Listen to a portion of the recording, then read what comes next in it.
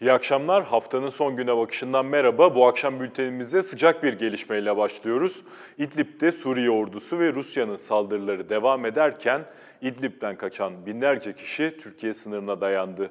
Babel Hava Reyhanlı sınır kapısında Türkiye'nin gözlem noktaları aracılığıyla Rusya'ya istihbarat sağladığını iddia eden binlerce kişi Türkiye aleyhine slogan attı. Protestoların şiddetlenmesiyle Türkiye sınırındaki güvenlik güçleri gruba tazikli su ve gaz bombalarıyla müdahale etti. Bugün malum 30 Ağustos Büyük Taarruz'un 97. yıl dönümü. 30 Ağustos bugün resmi törenler ve etkinliklerle kutlanıyor.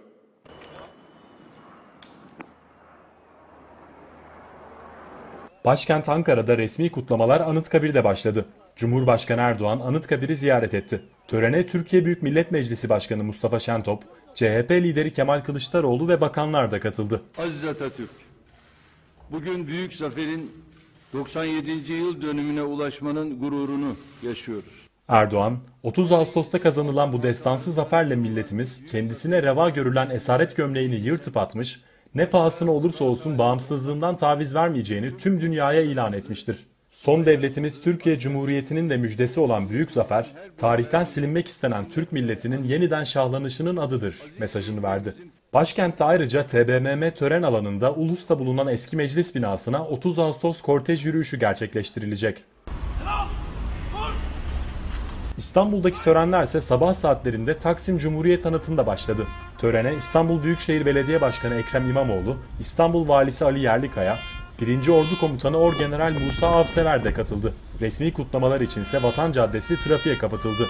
Resmi törenler yanında birçok belediye de konser ve yürüyüşlerle 30 Ağustos Zafer Bayramı'nı kutlayacak. CHP Genel Başkanı Kemal Kılıçdaroğlu'nun sosyal medya hesaplarından paylaştığı 30 Ağustos videosunda Nazım Hikmet'in Kurtuluş Savaşı destanından bir bölümü seslendirdiği klip büyük ilgi gördü. Dağlarda tek tek ateşler yanıyordu. Ve yıldızlar öyle ışıltılı, öyle ferahtılar ki şayak kalpaklı adam nasıl ve ne zaman geleceğini bilmeden güzel, rahat günlere inanıyordu. Ve gülen bıyıklarıyla duruyordu ki mavzerinin yanında birdenbire beş adım sağında onu gördü. Türk Silahlı Kuvvetleri'nde Orgeneral ve Oramiral sayısı 15'ten 7'ye düşürüldü. Geçtiğimiz hafta Cumhurbaşkanı Recep Tayyip Erdoğan onayıyla 127 general ve amiralin görev yeri değişmişti. 25 Ağustos'ta 5 general istifa etti. Son kararlar TSK'nın yapısı değişiyor mu sorusunu yeniden gündeme getirdi. Medyaskop'a konuşan emekli tüm general Ahmet Yavuz, Mustafa Kemal'in başkomutanlık meydan muharebesini kazanmasından 97 yıl sonra hala asker-siyaset ilişkisini sağlıklı bir temele oturtamamış olmak üzüntü verici diyor. Ee, bir anlamda siyaset e, tabiriyle, siyaset bilimi tabiriyle orduyu kendi aynası haline getirmek istiyor. E, bu adımlar işte bazen böyle insanlarda e, rahatsızlık yaratabiliyor. Yani gerçi istifaların sebebini herkesin kendisine sormak lazım ama ben hepsini tanımıyorum tabii istifa eden arkadaşların. Sadece e, Yüksekova'ya tümen komutanlığına tayin edilen Tu General arkadaşın e, oraya tüm general olarak tayin edilmesi daha uygun olurdu. Niye bundan imtina edildi? E, ayrıca özel bir durumu, sağlık durumu var. Eşini kaybetmiş, işte çocuğu yalnız kalacak. E, bu dikkate alınması gereken bir şey. Yani insanlar tabii ki verilen her görevi yapacaktır bundan şüphe yok ama e, bunca sene emek vermiş insanların da bazı taleplerini dikkate almak gerekir diye düşünüyorum. Böyle şeyler oluyor. Bu e, tabii yaşın e, tabiatı değişti. E, siyaset ağırlıklı bir yaş yapılıyor. Yani adı Yüksek Askeri Şura kaldı ama biraz herhalde onu da değiştirmek gerekebilir. E, o Mustafa Kemal'in işte başkomutan meydan muharebesini kazanmasından 97 yıl sonra hala bizim asker siyaset ilişkilerini sağlıklı bir temele oturtamamamız çok e, üzüntü verici bir şey. Erkek şiddetine maruz bırakılan kadınların sayısı her geçen gün maalesef artıyor. Adana'da 5 yıl önce 19 yaşındaki hamile eşi Burcu Çiftçi'yi öldüren Mehmet Çiftçi'ye mahkeme iyi hal ve haksız tahrik indirimi uygulayıp 18 yıl 4 ay hapis cezası verdi. Burcu'nun annesi katil kızımın yaşı kadar bile ceza almadı diyerek isyan ediyor. Yalnız yürümeyeceksin. Asla yalnız yürümeyeceksin. Adana'da 5 yıl önce 19 yaşındaki hamile eşi Burcu Çiftçi'yi öldüren Mehmet Çiftçi'ye mahkeme iyi hal ve haksız tahrik indirimi uygulayıp 18 yıl 4 ay hapis cezası verdi. Burcu'nun annesi Songül Teber, kızının evliliği boyunca şiddete maruz bırakıldığını söyleyerek kararı temize gittik. Kızımın yaşı kadar bile ceza almadı katil. Kızımı kafasına sıkacağım diye tehdit ediyordu. Bu yüzden kadın sığınma evine gitmiş, çok kez de bizim yanımıza gelmişti. Kıskançlık yüzünden kızımı planlayarak öldürdü. Utanmadan ölmüş kızıma iftira attı. Haksız tahrikten yararlanmak için aldatma yalanını söyledi. İki can almış bu insanın iki kez ağırlaştırılmış müebbet cezasına çarptırılmasını istiyoruz dedi. Denizli'de dün doğum gününü kutlayan 15 yaşındaki Zeynep Atagül, 17 yaşındaki erkek arkadaşı UK'nın tüfeğinden çıkan saçmalar nedeniyle yaşamını yitirdi. Doğum günü kutlaması için UK'nın evinde bulunan Atagül, iddiaya göre tüfeğin patlaması sonucu yaşamını yitirdi. İhbar üzerine olay yerine giden sağlık ve jandarma ekipleri Atagül'ün parmaklarının koptuğunu belirledi.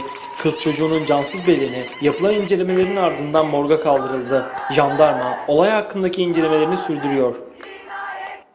Kadınlara yönelik erkek şiddeti hız kesmeden sürüyor. Biz de Medyaskop olarak ve Güne Bakış olarak e, yakından takip etmeye çalışıyoruz. Dün akşam, dün gündüz, dün akşam da Güne Bakış'a konuk oldu. İki arkadaşımız Egemen Gök ve Dilek Şen de Denizli'ye gittiler. Hafize Kurban'ın yakınlarıyla, görgü tanıklarıyla konuştular. Çünkü Hafize Kurban eşi tarafından e, erkek şiddetine maruz kalarak saldırıya uğramıştı ve şu an hala ağır yaralı durumda. Egemen Gök ve Dilek Şen'e hoş geldiniz diyorum. Hoş geldiniz, hoş geldiniz. Egemen Gök'le başlayalım. Dün gün boyunca e, Denizli'deydiniz. E, haberin peşine düştünüz. E, ayrıca izleyiciye de hatırlatalım. İnternet sitemizde de detaylı bir izlenim haberimiz var. Öncelikle e, hem Hafize Kurban'ın ailesine hem de görgü tanıklarına ve oradaki yerel gazetecilere nasıl ulaştınız onu sormakla başlayayım. Nasıl oldu? Ee, Biz ilk önce buradan e, Denizli Express Gazetesi yayın yönetmeni Kadriye Sözeri'ye ulaştık. Kendisi Denizli'nin en iyi gazetecilerinden biri ve çok da iyi bir gazeteci. Denizli'nin her yerine, her köşesine ulaşabilen bir kadın. Sağ olsun bize çok büyük yardımları oldu. Onun sayesinde biz mahalledekilere, hastanedekilere, ailesine, Hafize'nin ailesine ulaşabildik. Böylece onun sa- sayesinde görgü tanıklarına ulaşabildik. Zaten beraber gezdik onunla da. Hem zaten e, gitmeden önce Kadriye Sözeri'nin yaptığı haberleri de bakmıştık. Onunla da konuşulmuştu. Onun sayesinde oldu diyebiliriz. E, burada da şunu söylemekte fayda var. Ben yani ilk önce bunu söyleyelim. E, görgü tanıklarının insanların ya bu konuyla ilgili konuşmak istedikleri çok belli. Hem biz e, mahallede yani olayın yaşandığı yerde Rasim Doğan adında ilk müdahaleyi yaptığını gördüğümüz, bildiğimiz bir insan e, bizi kamerayla oradan geçerken ya biz ve orada iki insanlarla yavaş yavaş konuşmaya başlarken hemen yanımıza geldi. Olayı anlattı, yaşananları anlattı. E, mahallede insanlar camlara çıktı. Onlar bir şeylerle dahil oldular konuya. Seslerini duyurmak istediler. Yaşananları anlatmak istediler. Aslında bu e, yaşanan durum içinde en önemli kıstaslardan biriydi mahalle çetleri içinde. Peki şimdi Dilekşen'e döneceğim. Görgü tanıklarıyla konuştuğunuzu biliyoruz. Ayrıca e, Hafize Kurban'ın ailesiyle neler söylüyorlar? Ee, Bir kere e, Egemen'in de söylediği gibi gerek hastanedekiler ve gerek e, mahalledekiler e, erkek şiddeti konusunda artık epey tepkili. Bu da e, bu isyanın büyüdüğünü gösteriyor bize. Biz e, özel, önce Kadriye Hanım'la erkek gazetecilerin bu haberleri magazin diliyle yan- e, yazmasına yönelik tepkisini e, pa- paylaştı bizimle. Bir kişiyi bile değiştirebilirsem ben Denizli'de e, mutlu olacağım. Duygularımıza hakim olmak kadın gazeteciler olarak bu konuda çok zor ama soğukkanlı kalmaya çalışıyoruz.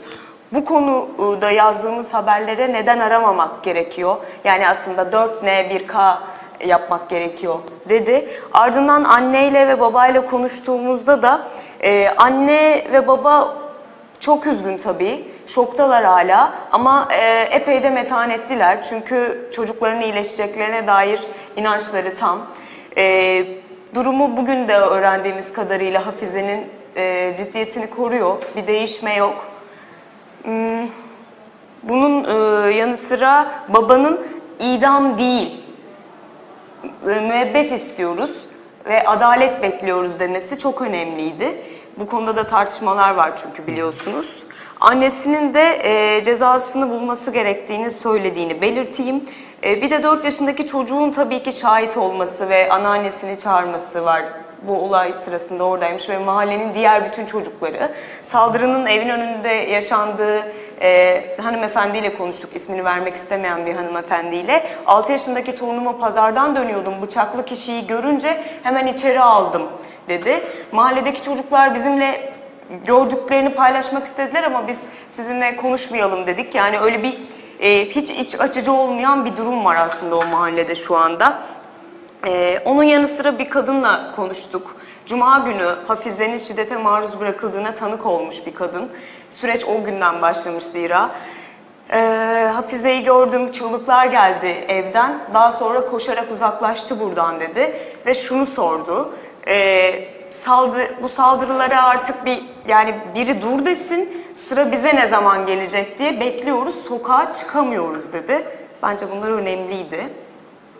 Peki Dilek Şen, Egemen Gök ekleyeceğiniz başka bir şey yoksa teşekkür ederim. Sanki bir şey ekleyeceksin. Teşekkürler. Tamam, çok teşekkür ediyoruz. E, Medyaskop olarak e, umarız bu olaylar devam etmez tabii ama devam ettiği sürece de bu işin peşini bırakmayacağımızı tekrarlayalım, yineleyelim. Şimdi iç politikaya geçiyoruz. Kurulması beklenen partilere. Ali Babacan ve Ahmet Davutoğlu'nun sonbaharda kuracakları söylenen siyasi partiler niye hala kurulamadı? Ruşen Çakır'a göre bunun sebebi, gecikmenin en önemli sebeplerinden biri bu isimlerin Erdoğan'dan korkuyor olmaları. Ancak Erdoğan da onlardan korkuyor. Teşekkürler. Gecikmenin, bu partilerin gecikmesinin en önemli nedenlerinden birisi hala tabii ki Erdoğan'dan ciddi bir şekilde ürküyor hatta korkuyor olmaları. Erdoğan da onlardan korkuyor. Korktuğu için e, hemen e, şeyi e, olan kongre sürecini erkene aldı. E, kongre sürecini başlattı ve e, tedirgin olan, rahatsız olan kesimleri kongreyle beraber partide bir şeylerin değişebileceğiyle belki tatmin etmek istiyor. Ama bir hamle yapıyor ve bu hamleyi yapmasının en önemli nedenlerinden birisi bu muhtemel partilerin kurulmasını geciktirmek ya da gecik engellemesi artık herhalde söz konusu değil. Engelleyemese bile o partilerin olabildiğince az insanı AKP'den koparmasını sağlayabilmek. Ee, ama bunu nasıl yapacak? Bunu yapabilmesinin yegane aracı parti tabanında ve parti kadrolarına bir takım şeyleri dağıtmayı sürdürebilmesi, bir takım imtiyazları, bir takım ayrıcalıkları, devlet imkanlarını, nimetlerini dağıtmayı sürdürebilmesi ama ekonomik krizde de beraber görüyoruz ki artık e, musluklar iyice kapanmak üzere. Büyükşehir belediyelerinin elden gitmesiyle beraber zaten çok büyük bir darbe yedi. Güne Bakış'ta bu akşamki konuğumuz gazeteci Muzaffer Ayhan Kara. Hoş geldiniz. Hoş bulduk, yayınlar diliyorum. Sağ olun, çok teşekkürler. Biraz önce Ruşen Çakır da yorumluyordu. Aslında Ali Babacan ve Ahmet Davutoğlu'nun başını çektikleri iki ayrı e, politik oluşumun e, sonbaharda şekillenmesi gerekiyordu. Ama artık Ağustos ayı bitiyor ve Eylül ayına bir, çok az zaman kaldı. Belli ki Eylül ayında böyle bir girişim olamayacak. Bunun sebepleri ne henüz bilemiyoruz ama şöyle başlamak istiyorum ben size. Muhalefet tarafından bakalım. Ee, Ali Babacan daha nispeten sessiz duruyor. Abdullah Gül de kayım konusunda çeşitli açıklamalarda bulundu ama Ahmet Davutoğlu hayli aktif şekilde eleştirilerini artık kamuoyuyla paylaşıyor. Ee, bu açıklamalara ve bu hareketlere sizce muhalefet ve muhalif çevreler nasıl yaklaşmalı? Şimdi evet, e, AK Parti cenahını erozyona uğratmaya yönelik, e, tırnak içinde koparmaya yönelik e, iki koldan bir çalışma olduğu görülüyor. Artık bu ayan beyan ortada. E, Gül Babacan hareketi bir yandan, bir yandan Davutoğlu hareketi. Kamuoyunda şu da çok gündeme geliyor. Bana da çok soran oluyor. neden beraber değil Babacan ve Davutoğlu? Onu ben daha önce yazılarımda, Oda TV'deki yazılarımda da belirtmiştim.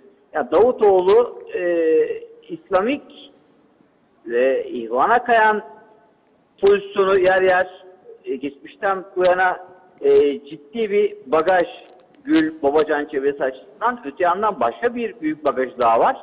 Suriye bagajı. Yani Suriye'deki Türkiye'nin bugün içinde bulunduğu tabloyu Suriye açısından oluşturan ikili malum Davutoğlu ve e, Erdoğan ikilisi. Yani bu iki önemli bagajdan dolayı Gül ve Babacan e, Davutoğlu arasına mesafe koydu. Bu açık ve net. Önce bunun altını çizelim. E, ondan sonra şuraya gelelim. E, evet son dönemde e, Davutoğlu eleştirilerin dozajını arttırıyor. Daha yüksek perdeden eleştirilerde bulunuyor. Buna karşı da AK Parti cenahından hamleler geliyor. Erdoğan'dan ve arkadaşlarından. Onu etkisizleştirmeye dönük.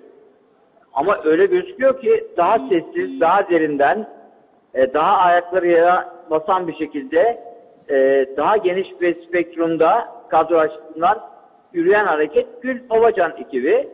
E, onlar yani ihvan yaklaşımıyla arasına ciddi bir mesafe koyan, Avrupa değerlerini daha bir önemsediklerini altını çizen, e, deyimlerinde ise AK Parti'nin ilk dönemlerindeki pozisyonunu, zeminini, çizgisine işaret eden bir iklimde, bir havada gördüğüm kadarıyla programlarını yazıyorlar, manifestolarını hazırlıyorlar. Farklı ekipler, farklı konular açısından. Ee, bir gazeteci, yanılmıyorsam Orhan Nurluoğlu, ee, şöyle bir şeyini gördüm.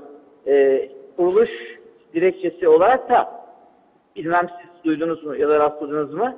Ee, belki izleyicilerimizden rastlayan olabilir. 2-2-2020 tarihini hedef demişler. Eğer bu doğruysa... Yani kışa olduğunu... kalıyor. Eğer bu iddia doğruysa yeni partilerin e, oluşması e, kışı yani 2020 yılını bulacak. Evet, evet. evet. Bu, bu yeni yıl e, mecliste bulunduğumuz yılda gerçekleşmesi olası gözükmüyor. E, fakat buna karşı tabii e, Erdoğan ve arkadaşlarının AK Parti cenahının hamleleri de çok dikkat çekmeye başladı. Yani Erdoğan il il dolaşması, örgütleri dolaşması, e, artık e, Gül Babacan ekibine olsun, e, Davutoğlu ekibine olsun isimlerini de zikrederek hedef tahtasına koyması AK Parti cenahını kemikleştirme mücadelesi verdiğini gösteriyor. Fakat şunu e, saptayabilirim. Yani bu gemi artık ciddi bir şekilde su aldı. AK Parti'nin yapabilirlerinin sınırları ortaya çıktı.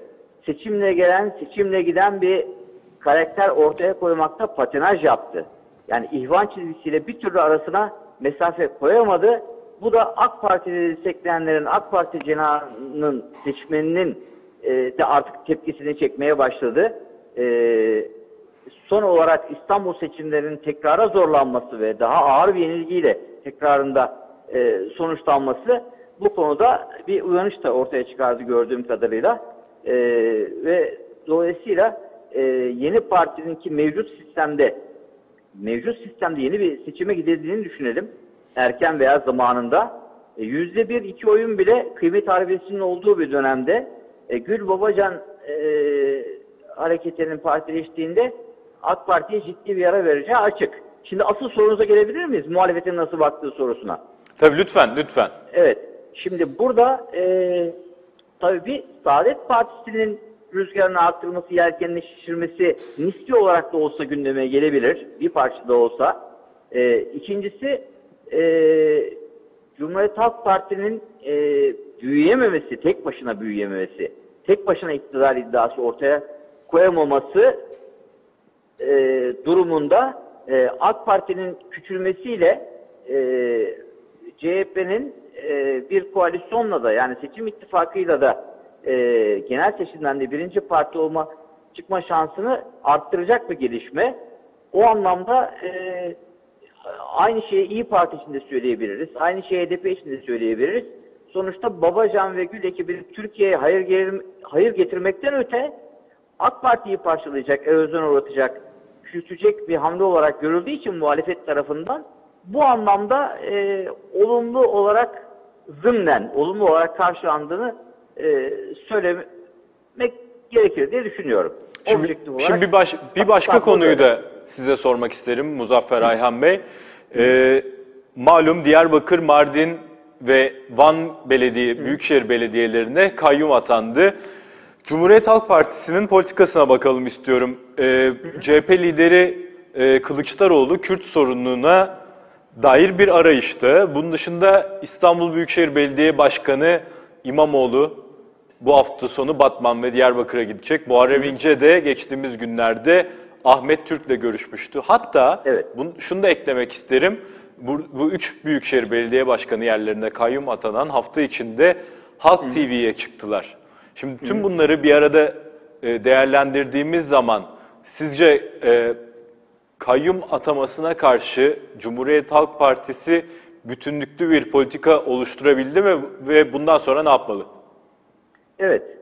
Şimdi şu açık bir gerçek. Son yerel seçimlerde 31 Mart'ta Cumhuriyet Halk Partisi'nin yurt çapında elde ettiği başarıda e, açık konuşalım.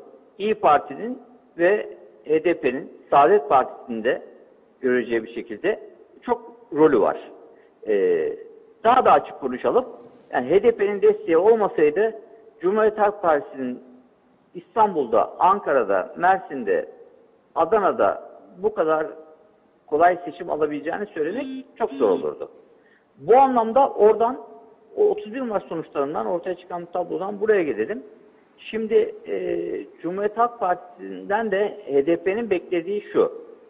Biz senin seçim kazanmanda rol oynadık. Seçmenimizi senin adaylarına yönelttik. E, ve buna rağmen biz durduk yerde ki bir e, valinin açıklaması da var. 1 Nisan'da işte yazılan bir yazı da var ortada Diyarbakır'la ilgili. E, kayyum atanması ile ilgili hemen 1 Nisan'da seçimin ertesi günü. E, böylesi abuk bir durum da var. E, bu tablo karşısında e, bizim e, haklarımızı e, başkanlarımızın görevden alıp kayyum atanmasına karşı siz de e, tepki göstermelisiniz. Ki bu şeyde haklılar tabii. HDP Cina bu konuda haklı.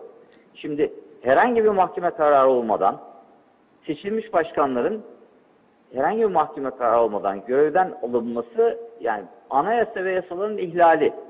Seçim yapıyorsunuz. YSK bir yüksek mahkeme yerine geçiyor Türkiye'de biliyorsunuz.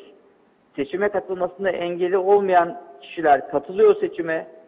Seçim kazanıyor ve siz onları birkaç ay sonra da görevden alıyorsunuz. Bunun hiç kitapta yeri yok. Hiçbir açıklaması yok. Hiçbir izahı yok. Bu çerçevede elbette ki e, HDP'nin yaklaşımı makul bir yaklaşım.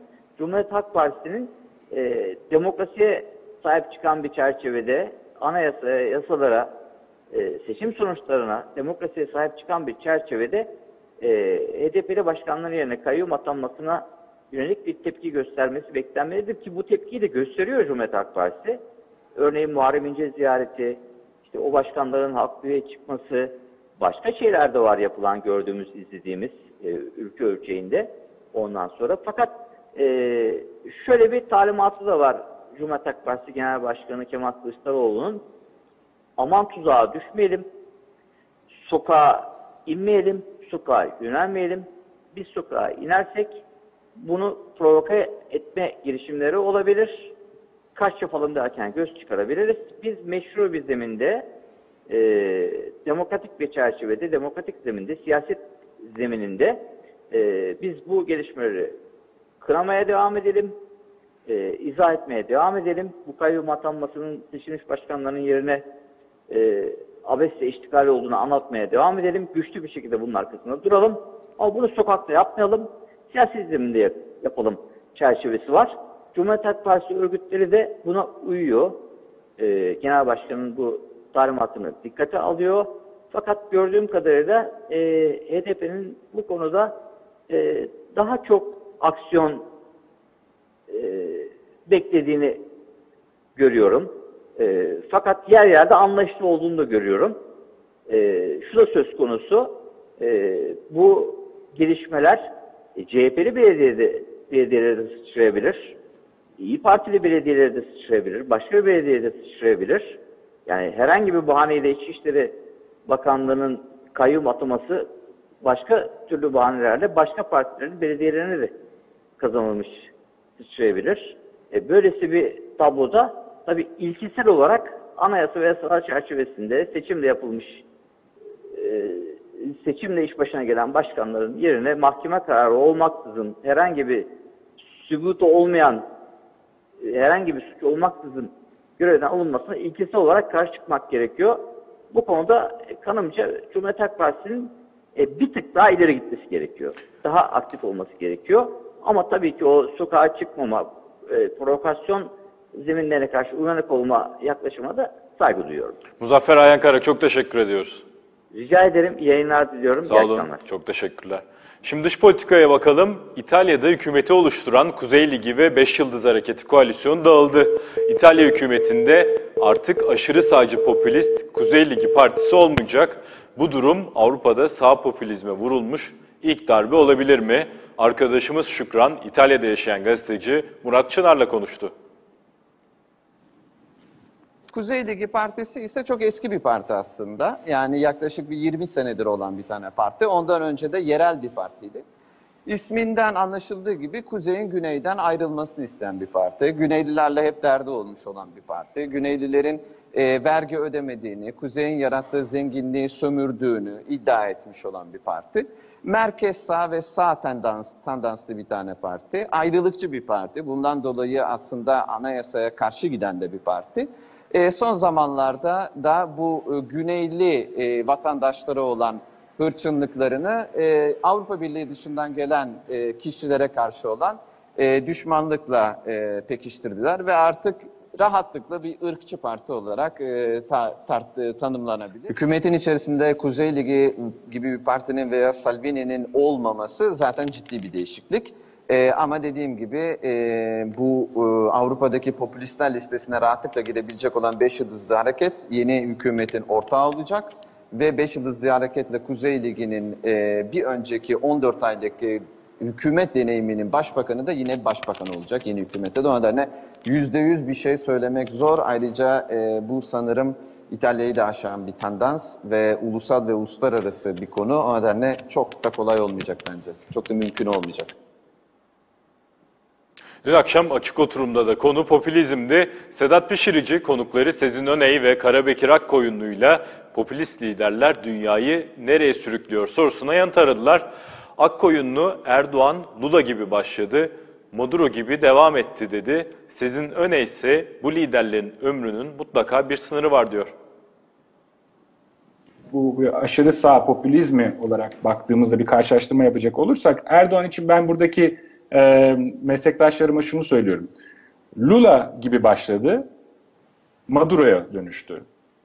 Bolsonaro'ya dönüştü demek biraz yanlış olur fakat Lula olarak başladı. Onun gibi hatta aynı dönemde e, liberal demokrasi söylemini e, benimseyerek, işte biz değiştik diyerek e, ve farklı kesimleri hoş tutmaya çalışarak ve genişleyen pasta sayesinde de yani ekonomik büyüme sayesinde de uzun bir süre bunu e, başarabilerek e, iktidara geldi ve iktidarda kaldı. Fakat daha sonra e, çok daha sert, e, e, dışlayıcı bir söyleme evrildi. Maduro burada belki e, benzer e, bir e, örnek olabilir. Çünkü aynı şekilde iktidarları tehdit altında varoluşsal tehditlerle karşı karşıya olduklarını düşünüyorlar ki öylelerde ve bu yüzden de e, geri adım atmamak için de e, e, ne olursa olsun iktidarda kalmalıyız şeklinde düşünerek e, ülkelerini felakete sürüklüyorlar. Karabekir demin tabii, tabii Conte konusunda çok güzel daha bir e, nitelikli e, çerçeve çizdi. E, Conte'nin mesela enteresan yanı popülizmi son dönemde e, evet e, halkın ihtiyaçlarına e, bakmaz, bakmaksa, cevap vermekse ben popülistim gibi sahiplenen enteresan bir tarafı var. Ben o yüzden söylemiştim. Bir onu dikkat çekeyim. Şimdi e, Elbette ki bir kere bir e, limit var. Yani insanın ömrünün bir limiti var. Bu liderler sonsuza kadar evet iktidarda elbette ki olmayacaklar. Mülteci karşıtı söylemleriyle bilinen Yunanistan'ın yeni başbakanı Mitsotakis, anarşistlerin ve mültecilerin yoğun olarak yaşadığı Egzersiya bölgesine operasyon başlattı. 4 işgal evi boşaltıldı, 143 mülteci tutuklandı. Operasyonlar başkent Atina'nın Eksarkia mahallesinde 25 Ağustos'ta başladı. Hedefte işgal evi adı verilen Yunan anarşistlerin yaşadığı ve sığınmacılara kalacak yer sağladığı binalar var. Eksarkia bölgesinde Yunan anarşistlerin, mültecilerin ve ihtiyaç sahiplerinin barınabilmesi için yüzden fazla işgal evi bulunuyor. Yunanistan'ın yeni başbakanı Kyriakos Mitsotakis, Temmuz'da kazandığı seçimlerin ardından bu evlerin listesini paylaşıp operasyonların ilk işaretini vermişti. O günden bu yana 120 sığınmacı evlerden ayrıldı. Kalanlara yönelik de operasyonlar yapılıyor. Güvenlik güçlerinin mahalleye girmesiyle çatışmalar da başladı. Yunan basınına göre 25 Ağustos'tan bugüne Afganistan, İran, Irak ve Türkiye'den gelen 143 sığınmacı tutuklandı. Çok sayıda kişinin de sınır dışı edildiği ileri sürülüyor. Güvenlik güçleri boşalttıkları evlerin kapılarına duvar örüyor. Mahallede yaşayanlar işgal evleri önlerinde nöbete başladı. Protesto gösterileri düzenlenmesi çağrısı yaptı. Yunanistan'da 7 Temmuz'da yapılan erken seçimleri %40'a yakın oyla Siriza'yı geçerek merkez sağda bulunan Demokrat Parti kazanmıştı. Mitsotakis, mülteci karşıtı söylemleriyle de biliniyor. Türkiye İstatistik Kurumu pazartesi günü 2019 yılının ikinci çeyreğine ilişkin ekonomik büyüme verilerini açıklayacak. İlk çeyrekte %2.6 oranında daralan ekonominin ikinci çeyrekte de %2 civarında daralabileceğini öngören iktisatçı Profesör Hayri Kozanoğlu, yurt dışından yeni kaynak gelmedikçe Türkiye'nin büyümesinin mümkün görünmediğini söylüyor. Zaten kredi talebi de çok güçlü olmadığı için sizin e, konuşmamızın başında e, referans verdiğiniz e, büzüşme olayı ortaya çıkıyor. Yani yurt dışından yeni kaynaklar gelmediği müddetçe Türkiye'nin kendi tasarruflarıyla e, bir e, büyüme e, ritmi kazanması mümkün e, görünmüyor. Hani nispi olarak e, e, ya, e, ekonomik daralma e, hafif e, yavaşlayabilir. Bu bulunduğumuz durumda bir istikrar kazanılabilir ama e, bu dinamiklerle ekonominin sağlıklı bir büyüme aşamasına geçmesi, işsizliğin düşmesi, e, ortalama yurttaşının refahının artmasını ben mümkün olmadığını görüyorum. E, bu sürecin uzan, uzaması halinde de tabii ki haliyle diğer faktörleri siyasetteki bir yana bırakıyorum. Sırf, ekonomiden kaynaklanan e, faktörler üzerinde durmak istiyorum. İnsanların hoşnutsuzluğu artar, sabırları taşar ve bunun siyasi bir değişikliğe dönüşmesi e, için kitlelerdeki e, tepkiler ve talepler yükselir diye tahmin ediyorum. O bakımdan e, 2019-2020 e, yılının yani bu sonbaharla başlayacak olan e, yılın e, çok zor e, geçeceğini düşünüyorum. İstanbul Büyükşehir Belediyesi'nde işten çıkarılanların sayısı ve işten çıkarılma gerekçeleri belli oldu. İBB sözcüsü Murat Ongun 1244 kişinin işten çıkarıldığını açıklarken bu kişilerin iki seçim arası ya da seçimden hemen önce yapılan alımlar olduğunu söyledi. İşçi! İBB'deki işten çıkarmalar konusunda İBB sözcüsü Murat Ongun bir açıklama yaptı. Yapılan açıklamada yanıltıcı bilgilerin dolaştığı vurgulanırken toplam 1244 kişinin kurumla ilişkinin kesildiği açıklandı. 31 Mart 23 Haziran arası veya 31 Mart'tan hemen önce işe alınanların iş akdinin feshedildiğinin belirtildiği açıklamada bu dönemdeki toplam alımın 2500 civarı olduğu, şehit ve gazi yakını, engelli, vefat eden personel yerine alınan birinci derece akrabalar ve devam eden projelerin çalışanlarının işlerini devam ettikleri belirtildi. İBB'de yapılan inceleme İmamoğlu tarafından uygulamaya sokuldu. Bu çerçevede 1 Ocak 2019 ile 23 Haziran 2019 tarihleri arasında 6 aylık sürede işe alınanlar hakkında inceleme başlatıldı.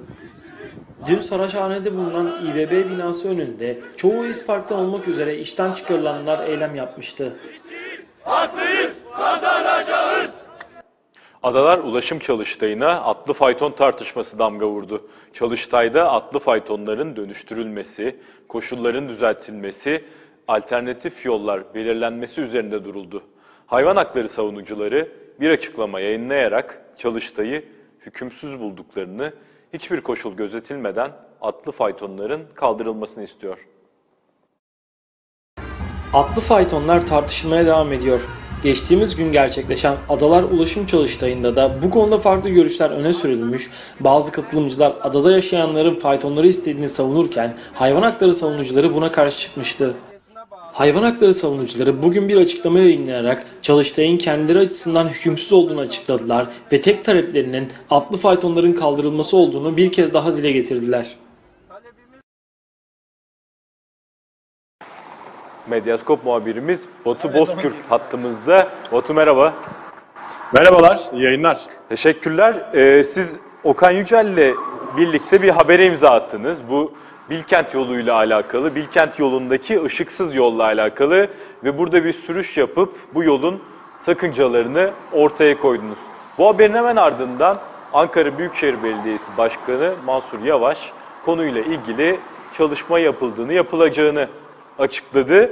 Ee, bu haberi bir de senden dinleyelim istiyoruz. Evet Burak, Ankara Şehir Hastanesi'ni Bilkent Üniversitesi'ne bağlayan yol 2017 yılında yapılmaya başladı. Ancak e, aradan geçen iki yıla rağmen çok fazla eksik vardı bu yolda. Neydi bu eski eksiklikler? Işıklandırma yönünde ve yol ayrımlarının iyi yapılmadığı yönünde eksiklikler vardı. Biz de bu yönde çok fazla duyum ve şikayet aldık tanıdığımız insanlardan ve bu yola çıktık senin de bahsettiğin gibi. Yola çıktığımızda bu ışıklandırma ve yol ayrımı sorunu gözümüze çarptı ve 4 dakikalık bir haber yayınladık. Bu haberin içinde karşılaştığımız bütün sorunları yazdık ve hepsine yer verdik. Bunun ayrından 4 dakikalık bir video ile dediğim gibi bu haberi yayınladık. Ardından bu haberi Ankara Büyükşehir Belediyesi ile de paylaştık ve e, sorunları onlara da ilettik. Çünkü bu yolun sorumlusu Ankara Büyükşehir Belediyesi'ydi. Dün paylaştık bu haberi. Bu sabah uyandığımızda ise Başkan Mansur Yavaş'ın Ruşen Çakır'a bir mesaj gönderdiğini ve bu yoldaki sorunların ilk aşamasını çözdüğünü öğrendik. İlk sorun şuydu, burada yer alan trafik lambalarının çalışmadığıydı ve Mansur Yavaş buraya ekipleri yönlendirerek lambaların yanmasını sağladı. Şu an üzerinde bulunduğumuz yolda da bazı lambalar var ve e, gördüğünüz gibi çalışmıyor. Çok yakında bunlara da e, el atılacak ve bu lambalar da çalışır hale getirilecek. Belediye kaynaklarından bunu öğrendik. Bunun yanında biraz arkamızda Hacettepe Üniversitesi'ne giden bir yol var. Orada buradaki trafik lambalarının aksine hiçbir lamba yok ve e, bu yollara, bu yola bir lamba yapılıp yapılmayacağını da öğrenmek istemiştik. Bununla ilgili de olumlu yanıt aldık ve yakın zamanda o yola trafik lambalarının, e, yol lambalarının dikileceğini öğrendik. Son olarak üzerinde bulunduğumuz yola Bilkent Bulvarı'nda bazı e, eksiklikler var, bazı yollar yapılmamış ve bu yolların yapılmasını sağlayacak e, uyarılar, daha doğrusu bu yolların bölündüğünü gösteren uyarılar çok fazla görünür değil. Özellikle gece saatlerinde kazaya davetiye çıkarıyordu. Bunu da video olarak çekip e, haberimize koymuştuk. Bu yolun da çok yakın zamanda yapılacağını ve uyarı levhalarının daha görünür hale getirileceğini öğrendik belediye kaynaklarından. Böylece bütün sorularımız aslında 24 saat içinde cevap bulmuş oldu ve e, biz de bu sorunları takip edeceğimizi, gelişmelere bakacağımızı belediyeye bildirdik. Şu an için Ankara'dan, Bilkent'ten aktaracaklarımız bu kadar. Batu Bozkürk hem sana hem de Okan Yücel'e teşekkür ediyoruz. İyi yayınlar. Güne bakış devam ediyor. Amerika Birleşik Devletleri'nde yapılan son bir araştırma eşcinsellik eğiliminde çevre ve sosyal faktörlerin genlerden çok daha etkili olduğunu ortaya çıkardı. LGBTQ topluluğunun parçası olan bazı bilim insanları araştırmanın sonuçlarının homofobik kişilere, eşcinsellere karşı ön yargıyı ve ayrımcılığı desteklemek için bilimi kullanma yolunu açabileceği konusunda endişeli.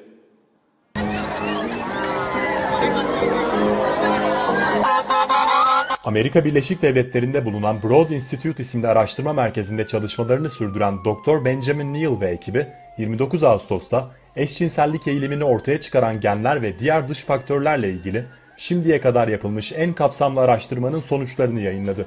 Kişilerin daha önce eşcinsel ilişkiye girip girmedikleri sorusu üzerine yoğunlaşan araştırmada, eşcinsellik eğiliminin ortaya çıkmasında binlerce genin etkili olduğu ama bu genlerin eşcinsellik üzerindeki etkisinin sadece %32 seviyesinde kaldığı ortaya çıktı. Araştırmaya göre sosyal ve çevresel etmenler genlerden daha etkili. Araştırmayı yapan ekibin lideri genetik bilimci Dr. Neil sonuçlarla ilgili "Umarım bilim insanların eşcinselliğinin ne kadar normal olduğu konusunda insanları eğitebilir." dedi. MIT ve Harvard'da çalışmalarını sürdüren Neil, eşcinsellik genlerimizde yazılı ve sosyal çevremizin bir parçası, bizim türümüzün ve bizim kim olduğumuzun da bir parçası. diye konuştu. Araştırma birçok tartışmayı da beraberinde getirmiş durumda. LGBTQ topluluğunun parçası olan bazı bilim insanları araştırmanın sonuçlarının homofobik kişilere, eşcinsellere karşı ön yargıyı ve ayrımcılığı desteklemek için bilimi kullanma yolunu açabileceği konusunda endişelerini dile getirdi. Bu çalışmanın homofobik kişiler için teknik olarak imkansız olsa bile anne karnında gen düzenleme ve embriyo seçimi ile eşcinsellik eğiliminin bitirilebileceğinin kanıtı olabileceği konuşuluyor. En önemli endişe ve olası sorunsa araştırmada eşcinsellik eğiliminde sosyal ve çevresel faktörlerin genlerden daha etkili olduğunun ortaya çıkmasının, eşcinselliğin tercih olduğu yönündeki fikri pekiştirebileceği ve bunun dönüştürme terapisi gibi uygulamalara yol açabileceği yönünde. Araştırmayı yürüten ekipten LGBTQ topluluğu üyesi Stephen Riley ise bu endişelerin tamamen yersiz olduğunu düşünüyor. Araştırmanın sonuçları kolayca yanlış anlaşılabilir gibi görünüyor. Ayrımcılığın olmadığı bir dünyada insan davranışını anlamak asil bir amaç ama öyle bir dünyada yaşamıyoruz. UEFA Şampiyonlar Ligi'nde ve Avrupa Ligi'nde Türkiye temsilcilerinin yer alacağı gruplar belli oldu. Dün akşam çekilen Şampiyonlar Ligi kurallarında gruplar belli oldu. Bu sezon Şampiyonlar Ligi'nde tek Türkiye temsilcisi olan Galatasaray'ın rakipleri Real Madrid, Paris Saint Germain ve Kulüp Brugge. Bugün çekilen kurallarda ise Avrupa Ligi'nde yer alacak olan Melipol Başakşehir, Beşiktaş ve Trabzonspor'un grupları belli oldu.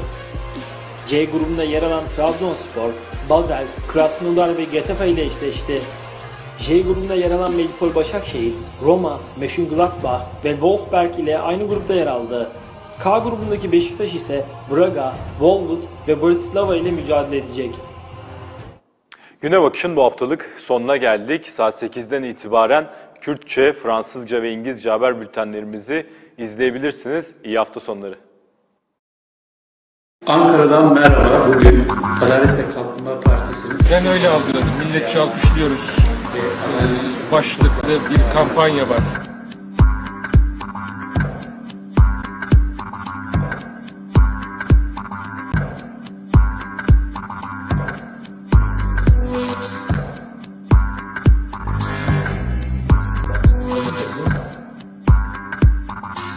Sadece HDP değil mevzu. Ee, kaç ilde miting yapıyorsunuz? Ee, bayağı bir.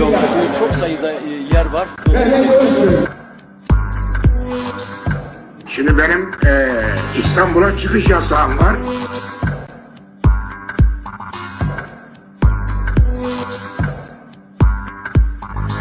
Tabii ki yani sokaktan geçen herhangi birini çevirip ne düşünüyorsun deseniz Yani aslında e, ben artık nereye gitsem bütün şehirleri birbirine benzetir hale geldim.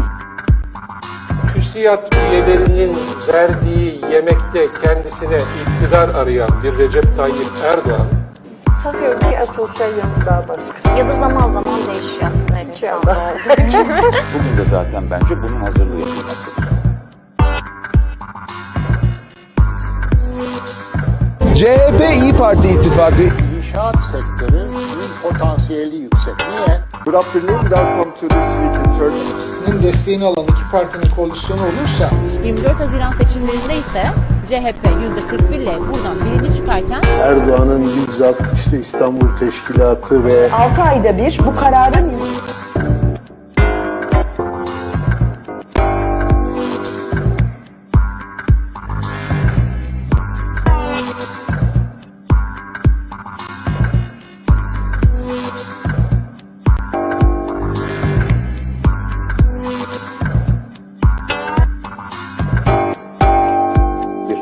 söyleyecekleri bu kadar iyi günler.